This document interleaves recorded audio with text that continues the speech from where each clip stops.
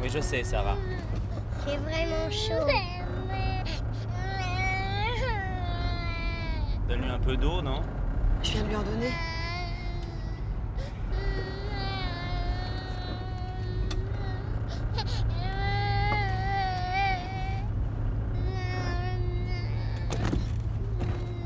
Jeanne, tu arrêtes avec tes pieds, là? Bon, Jeanne, tu arrêtes, s'il te plaît? Je veux voir papy et mamie. On va bientôt les voir, ma chérie.